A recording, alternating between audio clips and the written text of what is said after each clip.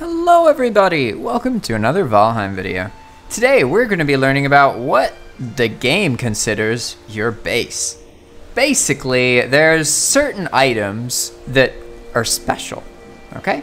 These items are the artisan table, the bed, black forge, blast furnace, bonfire, campfire, kiln, bed, refinery, oh, dragon bed, sorry.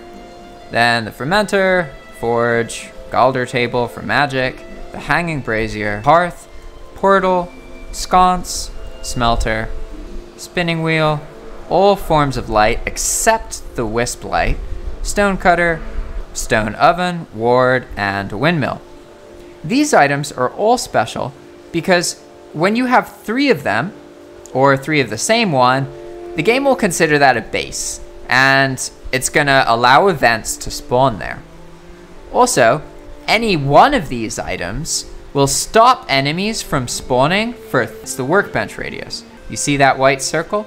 That's how far each of these objects blocks enemies from spawning.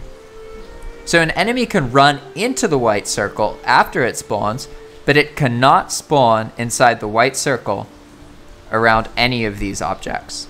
Thanks for watching this video, it was a short one check out one of my tutorials about setting up a dedicated server. It's a great way to get more out of your Valheim playthroughs because you have a lot of flexibility on different ways to play. And if you find that you've been playing Valheim regularly and you've just gotten bored of it, uh, you can set up a dedicated server or do something to play with other people who are kind of in your same headspace. You sort of need to be playing with people who have similar experience levels to you so that you have the most fun because it, it's just going to be kind of abrasive for other people when you know so much about the game and you know everything about it and you're trying to play with them, but they're just brand new to it and you know they want you to f off.